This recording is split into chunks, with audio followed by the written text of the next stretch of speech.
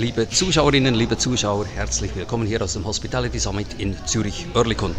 Noch heute findet dieser Hotelkongress der Schweiz statt und ich habe hier einen ganz besonderen Gast bei mir. Das ist Nicole Hinrichs. Herzlich willkommen, Frau Hinrichs dass Sie da sind. Sie ist Professorin und Dozentin an der weltberühmten Hotelfachschule von Lausanne, wie man im Volksmund sagt, die EHL oder EHL oder wie sagt man eigentlich richtig?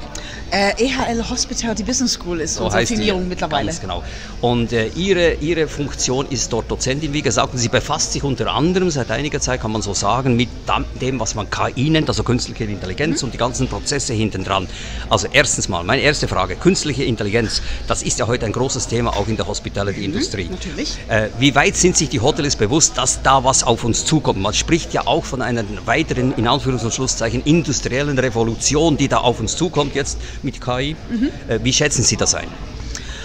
Also ich würde sagen, das Bewusstsein mhm. für die KI ist da. Es ist, glaube ich, relativ schwierig, äh, nicht äh, zu wissen, dass die KI da ist. Ähm, wenn man alleine tagtäglich die Nachrichten hört, dann hört man es durch die Bank weg. Was das jetzt im Speziellen für die Hospitality-Industrie bedeutet, da würde ich behaupten, aus eigener Erfahrung haben wir unterschiedliche äh, Erkenntniszustände. Äh, der eine ist sich bewusst, dass es da ist, hat aber keine Ahnung, was wir damit, damit machen wollen. Und dann gibt es natürlich auch auf dem anderen Ende des Spektrums die Vorreiter, die sich des Themas äh, bewusst angenommen haben, auch äh, in dem Bewusstsein, dass die Digitalisierung da ist, um zu bleiben und dass die KI im Zweifelsfalle nur als Brandbeschleuniger jetzt noch dazu wirkt. Und äh, äh, als solches sich auch be wirklich bewusst damit auseinandersetzen, wo die KI eingesetzt werden kann. Und das ist nicht nur im Frontend, sondern auch vor allen Dingen im Backend. Wenn ich jetzt Hotel bin, 40 Zimmer habe, ein schönes, kleines, privat geführtes Hotel irgendwo in den Bergen oder am Thunersee als Beispiel, mhm. und ich komme zu Ihnen und frage, was bringt mir als Kleinhotelier, als sogenannter KMU-Hotelier, mhm. was bringt mir KI im Hotelalltag, in den Prozessen, beim Gast, in der Guest Journey, wie man so schön sagt, äh, was bringt mir das konkret? Was würden Sie sagen? Also ich würde sagen, bei Unternehmen, die jetzt eher im KMU-Bereich liegen, mhm. weniger erst einmal vielleicht im Frontend, aber mehr im Backend. Ja. Die Frontend-Thematik ist meistens dann relevant, wenn wir natürlich mit großen Datenvolumina von extrem hohen Kundenzahlen äh, sprechen, weil dann ist es einfach in der Realität meistens nicht so, dass wir alle unsere sagen wir mal, Kernkunden kennen können. Das geht einfach irgendwann nicht mehr. Ähm, mit 40 Zimmern würde ich sagen, sind wir noch so an der Schallgrenze, wo man äh, als investierter Hotelier wahrscheinlich seine Kernkunden auch bis zum heutigen Tage gut kennt und die Vorlieben kennt. Das heißt, mhm. da würde ich jetzt die, die ja, Vorzüge durch die Datenanalyse nicht als erste Herangehensweise sehen. Mhm. Da sehe ich eher im Back-of-House äh, die Möglichkeiten. was heißt Back-of-House? Back-of-House ist wirklich alles, was halt dass, äh, wenn es um, wie man das so schön nennt, Predictive Maintenance, das heißt, alle unsere Dinge, die wir nutzen im Hintergrund, äh, Maschinerien, Prozesse, das hat alles Abnutzung. Und oftmals passiert es halt, dass die Abnutzung überraschend äh, so weit ist, dass etwas zusammenbricht und etwas nicht mehr funktioniert. In der sogenannten Predictive Maintenance können wir durch die Datenlage bereits vorhersehen, wann wahrscheinlich Maschinerien nicht mehr funktionieren werden. Das heißt, wir sind vorbereitet, sodass der Zusammenbruch gar nicht erst stattfindet. Für viele Betriebe ist gerade dieses Operationelle oder diese, die, diese gesamte Wertschöpfungskette im Hintergrund, dass die läuft, ist extrem wichtig. Und da kann uns die KI extrem viel helfen, weil wir einfach mehr Einblick bekommen und Prozesse und Strukturen transparenter werden und nicht, nicht halt dieser Überraschungseffekt stattfindet. Nehmen wir drei Bereiche Sales, Verkauf. Wo kann KI ganz konkret im Sales eine Rolle spielen? Nun, das eine ist wirklich zu wissen, ähm, wo sind neue Marktpotenziale. Äh, man kennt seine Bestandskunden, die sind wichtig zu betreuen, aber die kennt man. Wichtig ist aber auch zu wissen, wo sind jetzt neue Potenziale. Da kann die KI auf jeden Fall helfen, weil man einfach über das Suchverhalten der Menschen draußen, mit denen man halt im Zweifelsfall noch keinen Kontakt hat, bessere Transparenz schafft, auf wen man sich konzentrieren sollte. So, das wäre zum Thema Sales. Marketing generell? Wie gesagt, ich würde sagen, Marketing und Sales geht, geht Hand in Hand. Marketing ist ja nochmal ein Schritt vor dem Sales, das heißt, das ist ja eigentlich eher mal das Bewusstsein überhaupt erst zu schaffen am Markt. Da geht es natürlich darum zu wissen, welche Kanäle funktionieren, für welchen Kunden mhm. idealerweise. Mhm. Ähm, es gibt immer noch einen sehr großen Kundenstamm, der analog äh, auch natürlich mhm. unterwegs ist. Die sind schwieriger natürlich mit der KI mhm. zu erreichen, das ist leider einfach so. Aber alle Kundensegmente, die im digitalen Raum sich bewegen, mhm die werden natürlich durch die Analyse transparenter und dann kann man natürlich nach dem ersten Schritt des Marketings das mhm. Sales auch viel spezifischer mhm. anwenden. Finanzstrategien, Revenue Management, was ist da möglich? Es gibt Stimmen, die sagen, Revenue Management, wo heute noch Menschen beteiligt sind, äh, wird sich komplett verändern. Das heißt, die Maschine oder KI macht in zu Zukunft, die Preise, die Tarife. Also, oder wie sehen Sie das? Es ist die Zukunft. Ähm, eine KI kann viel schneller die Analysen fahren, an welchen Tagen, mit welchen Präferenzen, welche Kunde, mit welcher Preissensibilität ihre Buchung machen. Das können wir als Menschen gar nicht. Wir haben A, nicht die Zeit, wir haben auch nicht die Einsicht in all die Datenpunkte. Da ist die KI einfach schneller, effizienter und auch kostenunintensiver genau. als ein Mensch. Und ich muss jetzt auch ganz ehrlich sagen, ich weiß jetzt nicht, ob für den Menschen dieses Durchkämmen von etlichen äh, Datenpunkten jetzt das unbedingt äh, bereicherndste wäre, wenn man doch in den Hospitality-Bereich geht, wo man doch eigentlich von Menschen für Menschen was machen möchte. Mhm. Von daher sehe ich da auch einfach Vorteile, dass man sich die Arbeit wieder freischafft, um an den Aktivitäten teilzuhaben, weswegen mhm. man doch eigentlich in diese Rolle auch gegangen ist. Sie haben mit Studierenden so, so, so, zu tun, Entschuldigung, also mit den Hoteliers der Zukunft könnte man sagen, sofern sie in der Branche bleiben, viele genau. gehen weg, das wissen wir auch, aber nehmen wir an, die, die bleiben. Mhm. Was ist die Zukunft des künftigen Hoteliers so in 10 Jahren vielleicht oder 15 Jahren? Was ist seine Rolle? Immer auf der Basis künstliche Intelligenz, Digitalisierung und all das, was wir ja kennen. Was, was macht der ganz konkret? Also das ist, das ist natürlich jetzt ein bisschen Kristallkugel lesen. Ja, ja, ja. Äh, also von daher, äh, ich, zitieren Sie mich nicht, das ist meine persönliche Meinung. Ähm, wir werden in 20, 30 Jahren wissen, ob ich äh, recht gehabt habe. Aber ich würde behaupten, dass wir eventuell wieder tatsächlich den Freiraum uns schaffen, die Rolle so zu erfüllen, wie sie in den 80er, 90er oder vielleicht 70er oder 60er Jahren wirklich war. Und das war das Zwischenmenschliche. Mhm.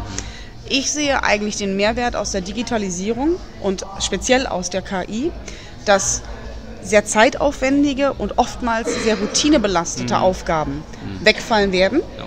was, glaube ich, die meisten Menschen so oder so äh, begrüßen würden. Mhm. Und dadurch aber die Zeit wieder frei wird, das zu tun, was in der Hospitality das Kernstück ist. Und das ist das Zwischenmenschliche. Das heißt, wieder mit einer Entspanntheit den Gast, den Gast zu empfangen, mit der Muße, ähm, den, den Aufenthalt zu gestalten. Das fängt auch lange vor dem eigentlichen Betreten des, des Hotels an.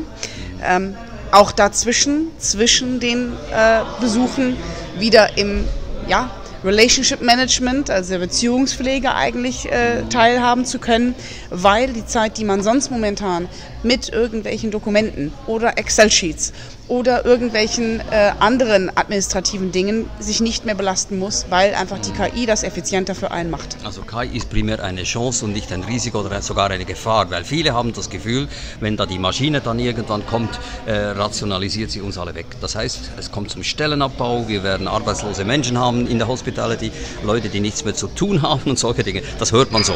Natürlich, die Angst ist immer da. Und ich würde jetzt naiv sein zu sagen, es wird keine einzige Stelle wegfallen. Natürlich, es gibt mit jedem digitalen Wandel oder jedem Wandel generell, es ist, muss nicht der digitale sein, verändert sich das Gesamtumfeld. Man kann wie in einem Uhrwerk gesehen, man kann nicht ein Rad drehen und erwarten, alle anderen Räder bleiben stehen. Es verändert sich alles. Aber ich bin immer ein Freund davon, solche Veränderungen als Möglichkeit und nicht als, als Risiko zu betrachten. Wir haben die Möglichkeit, Menschen wieder ins Upskilling zu bringen und auf andere Bereiche zu trainieren, damit sie dann für die wirklich wichtigen Touchpoints auch ja, äh, vorbereitet sind oder auch geschult sind. Denn ja, ich glaube schon. Durch die Digitalisierung werden auch die zwischenmenschlichen Touchpoints im Schnitt weniger werden. Wir sehen das. Ich meine, wann waren Sie das letzte Mal in einer Bankfiliale? Und ähm, aber die Touchpoints, die dann da sind, die werden natürlich monumental wichtiger werden. Und dafür muss man auch das richtige Training haben. Und das ist es, warum wir ja zum Beispiel auch an der EHLM sagen, Human-Centric Business Model. Es fängt beim Menschen an und das müssen wir natürlich auch in dem Ausmaß trainieren und wahrscheinlich mehr, als wir es heutzutage tun. Aber wenn wir das natürlich auch proaktiv so angehen, dann schaffen wir uns auch ein, finde ich, kreativeres und bereichenderes Arbeitsumfeld. Denn ich kann jetzt nicht behaupten, wenn ich an, an, an meine Arbeit denke, wenn ich eine Routine E-Mail rausschicken müsste, dass ich das jetzt als zwingend den bereicherndsten Arbeitsschritt meines Tages bezeichnen würde. Wenn ich hingegen mit meinen Kollegen eine kreative Arbeit begehen kann oder ein Projekt lancieren kann oder mit Firmen zusammenarbeiten kann, dann sind das zehnmal schönere Aktivitäten und die Zeit, die ich für diese E-Mails oder andere Dinge nicht mehr brauche, die habe ich dann wieder für diese Aktivitäten. Also der Hotelier wird wieder seine Rolle als Gastgeber ja. wahrnehmen, also vermehrt, wie Sie sagen, ja. wie 70, 80, 90er Jahren, als es also die Digitalisierung KI nicht gab in dem Sinne. Genau. Äh, also heißt das eigentlich wieder zurück, ein bisschen zurück in die alte Schule, oder wie? Ja, es ist eigentlich eine Kombination aus meiner Sicht aus etwas sehr Neuem und etwas äh, sehr Traditionellen. Mhm. Ähm, ich glaube immer daran und ich meine, ich bin wie gesagt Innovationsprofessorin und äh, schaue mir transformativen Wandel an. Ich bin nicht der Überzeugung, alles was in der Vergangenheit war, ist immer schlecht. Mhm. Ähm, es gibt viele Dinge, die sich verbessern lassen. Ähm, man muss aber nicht alles immer verbessern. Mhm. Kann man sagen, dass sich das Berufsbild, ich sage dem jetzt einfach mal so, des Hotels in dem Sinne nicht wesentlich ändern wird die nächsten 10, 20 Jahre?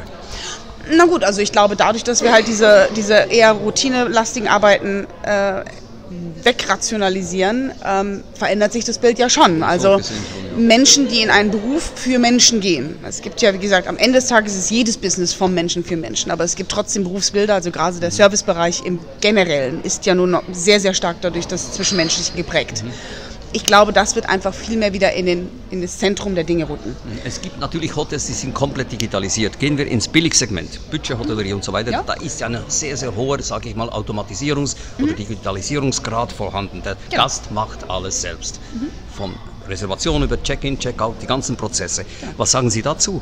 Da braucht es eigentlich keine Menschen mehr. Das stimmt, das ist in der Tat so. Aber ich glaube auch, dass es halt nicht den einen Kunden gibt. Ähm, es gibt es gibt Kunden, die einfach sehr effizient eine Dienstleistung abrufen möchten mhm. und sich in dieser Nutzung im 100% digitalen Raum wohlfühlen. Mhm. Es gibt, wie gesagt, wenn man zum Beispiel, ich mache immer gerne das Beispiel, wenn es ums Essen geht. Es ist eine Sache, ob ich abends mit meinem Mann schön essen gehen möchte, mhm. eine schöne Unterhaltung haben möchte bei einem tollen Glas Wein und das Ganze einfach auch lange und episch genieße. Mhm. Oder ob ich 45 Minuten zwischen Meetings mittags mein Essen schnell äh, esse und es mir als sagen wir mal eine, eine Notwendigkeit als jetzt unbedingt als den großen epischen Genuss sehe.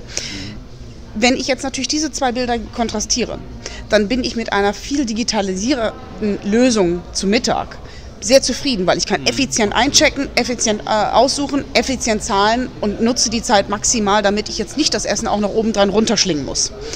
Wenn ich natürlich aber abends da sitze, dann möchte ich nicht von einem Roboter bedient werden, ähm, sondern möchte ich mich vielleicht mit dem Sommelier in, in, epischer Breite auseinandersetzen, welche Flasche Wein jetzt die richtige ist, ob man nicht vielleicht sogar eine Weinbegleitung äh, zusammenstellt, weil das Teil des Erlebnisses ist, das ich haben möchte. Der Gedankengang ist aber mittags nicht bei mir. Also heruntergebrochen auf Hospitality bedeutet das Luxushotellerie hoher Personifizierungsgrad, also viele Menschen, die sich um die Gäste kümmern, oben im Luxussegment, ja. in der Ferien- oder Leisure-Hotellerie auch. Ganz unten in der Billig- oder Budget-Hotellerie alles digitalisiert, automatisiert. Da geht es ja nur darum, dass der Gast ein Dach über dem Kopf hat, duschen, schlafen, essen, trinken, sekundär, je nachdem. Mhm. Äh, also schnell übernachten, ein paar Stunden im Hotel, wieder rein, raus. In dem Sinne geht das. Mhm. Die Mitte ist die große Frage. Drei Sterne, vier Sterne Segment, Entschuldigung. Wie sieht es denn dort aus? Es ist halt immer, wie gesagt, Sie haben jetzt den Ansatz genommen von dem Anbieter. Ich mhm. fange immer gerne vom Kunden an. Okay. Das heißt, wir müssen beim Kunden sehen, mhm. was ist denn eigentlich das Bedürfnis, das wir versuchen mhm. zu bedienen. Deswegen, es gibt nicht die Antwort für das Mittelsegment, weil das Mittelsegment wie jeder andere muss überlegen, wer ist mein Kunde, was ist das Bedürfnis des Kunden und wie bediene ich dieses Bedürfnis am besten. Das heißt, ich kann Ihnen jetzt nicht sagen, das ist die, das ist die Nonplusultra-Antwort für das Mittelsegment, sondern das Mittelsegment muss wie jeder andere auch ganz klar sich mit ihrem Kundensegment auseinandersetzen, um zu verstehen, was ist das eigentliche Bedürfnis und welche Lösung gibt dort den besten Ansatz. Das heißt, es kann auch eine Mischung aus analog und digitalen Lösungen sein. Das ist immer eine Frage der Customer Journey. Und die muss man für sein Kundensegment in- und auswendig verstehen, weil sonst kann man auch keine gezielte und gute Entscheidung treffen, wie ein bestimmter Touchpoint bedient werden muss. Mhm. Diese sogenannte Customer Journey ist ein großes Thema. Ja. Wie, wie, wo ist sie besonders digitalisiert, sage ich jetzt mal? Wo spielen digitale Prozesse äh, eine Rolle und wo weniger, wenn man die von A bis Z durchschaut? Also momentan finden wir natürlich ein extrem breites Angebot an Lösungen bereits im Frontend. Das mhm. heißt also direkt am Anfang, meistens im Endeffekt für die Reisevorbereitung. Genau alles, was halt im Endeffekt das Marketing, das Sales, die Reiseplanung, die Buchung, all diese Dinge sind eigentlich weitestgehend mittlerweile digitalisiert. Die wenigsten Kunden rufen proaktiv erstmal ein Hotel an und möchten eine Buchung tätigen. Das ist einfach die Realität heutzutage. Es ist schade, weil es ist ein wichtiger Touchpoint für die Hotellerie, denn viele der Informationen, die halt relevant sind, passieren in diesem Fenster und wenn man auf diese Datenpunkte keinen Zugang hat, ist das eine Blackbox. Im eigentlichen vor Ort haben wir fragmentartige Nutzung, würde ich jetzt behaupten.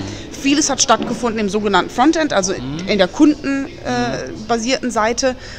Oftmals leider eher mit vielleicht mehr Gadgets, als jeder braucht. Äh, mehr nach dem Ansatz, wir machen zwar, wer es können, ähm, nicht zwingend, weil ich sagen würde, da ist eine gezielte Wertschöpfung dahinter. Ähm, wie gesagt, gerade das, das, Statement, das ich vorher gemacht habe, welche Lösung bereite ich denn eigentlich hier? Zu welchen Problemen? Mhm. Ähm, und im Hintergrund finden wir also auf dem Backoff-Haus fast eigentlich gar nichts bis dato. Also es sind immer noch sehr fragmentierte digitale Lösungen, oftmals mehrere Systeme, die punktuell nach und nach für unterschiedliche Bedürfnisse herangezogen wurden. Leider dann auch oftmals mit dem klassischen Schnittstellenproblem, wo Daten miteinander nicht also Daten nicht kommuniziert werden, weil die Systeme nicht miteinander reden wollen. Und äh, dann halt auch dem Zusammenbruch, dass man eigentlich die Daten, die man holistisch für einen Kunden haben möchte, nicht holistisch vor Ort sind, sondern eigentlich in unterschiedlichen Schubladen, wie man so schön sagt, gehalten werden, ohne miteinander eigentlich ein Gesamtbild zu kreieren. Wo wir extrem wenig bis dato sehen, weil eigentlich ist es fast nur das Feedback-System direkt nach dem äh, Aufenthalt. Danach kommt eigentlich fast gar nichts. Das heißt, die, die der, der Teil zwischen ich checke out, ich bekomme dann meistens irgendein Feedback-Formular. Mhm. Ja, genau. Meistens ist das auch nicht besonders sexy. Und äh, deswegen haben wir auch eine Rücklaufquote, die halt äh, extrem niedrig ist und dementsprechend leider auch wieder nicht ähm, die Zielführung hat, die sie haben soll. Und dann ist eigentlich, bis der Kunde proaktiv wieder versucht, eine Buchung zu tätigen, selten sehr viel Interaktion, die digital oder let alone KI basiert äh, vollzogen wird. Mhm. Also kurz, was würden Sie einem Hotelier vielleicht zum Schluss raten? So die drei bis fünf wichtigsten Dinge. Was muss er jetzt tun? Der Hotelier, mittelgroßer Betrieb, privat geführt, nicht Mitglied einer Kette oder Marken, äh, Hotellerie und so weiter. Was würden Sie sagen? Also die meisten würde ich jetzt, ohne jetzt vielleicht zu weit gehen zu wollen, äh, sagen, haben ja recht starke Berührungsängste noch mit der Thematik. Wie gesagt, das gilt nicht für alle, aber ich würde sagen, en gros wäre der erste Schritt, sich mit der Thematik aktiv auseinanderzusetzen. Weil die Hemmschwelle überkommt man erst dann, wenn man den ersten Schritt gemacht hat. Und äh, wie ich das gestern auch in einem Beitrag äh, gesagt habe, meistens findet man dann auch raus, dass es viele andere noch gibt. Und gemeinschaftlich ist so eine Problematik viel einfacher auch zu bewältigen, als wenn man glaubt, man ist der Einzige, der sich damit noch nicht ausreichend auseinandergesetzt hat. Das heißt, proaktiv in die Thematik einsteigen. Es gibt Artikel, es gibt, es gibt YouTube-Videos, es gibt äh, Diskussionsrunden auf LinkedIn. Einfach mit dem Thema erst einmal warm werden, das wäre das Erste. Dann ganz klar, und das ist absolut wichtig, weil es ist kein Allheilmittel, verstehen, welche, welche Punkte in der Wertschöpfungskette momentan für einen selbst nicht optimal laufen. Und da muss man mit sich einfach selber ehrlich sein, mhm. aber dann auch genauso kritisch analysieren, ist eine digitale Lösung wirklich die Antwort? Weil wenn sie es nicht ist, sollte man es auch nicht machen. Man kann Dinge auch verschlimmbessern. Das heißt also, erster Schritt, sich mit der Thematik auseinandersetzen, weil wenn man nicht weiß, womit man sich auseinandersetzt, kann man auch nicht wissen, was man damit tun soll. Punkt Nummer zwei, ganz kritische Eigenanalyse und äh, selber mal den, wie man so, so, schön sagt, den Devil's Advocate spielen und sagen, wenn ich jetzt nicht ich wäre, sondern ich wäre meine härteste Konkurrenz, wo würde diese Konkurrenz meine Schwachstellen sehen? Und diese dann im Schritt, dritten Schritt wirklich analysieren, gibt die Digitalisierung, speziell die KI, eine Lösung, die wirklich Wert treibt? Und wenn die Antwort Nein ist, Finger weg. Das wären so meine drei Dinge, die man als allererstes machen soll. Danach wird ja. sehr spezifisch. Sehr gut, die Zeit ist um. Nicole Hinrichs, herzlichen Dank für dieses sehr aufschlussreiche, spannende Gespräch. Liebe Zuschauerinnen und Zuschauer, wenn Sie mehr wissen möchten noch, als die wir jetzt diskutiert haben, dann können Sie einen Fachbeitrag von Nicole Hinrichs nachlesen, der auf EHL Insights, auf dieser Plattform erschienen ist, genau zu diesem Thema KI, äh, was das so bedeutet für die Hospitality-Industrie. Das war es hier aus dem Hospitality Summit in Zürich-Oerlikon. Bis zum nächsten Mal. Auf Wiedersehen. Vielen Dank. Dank fürs Gespräch. Vielen herzlichen Dank. Dankeschön. Gefreut.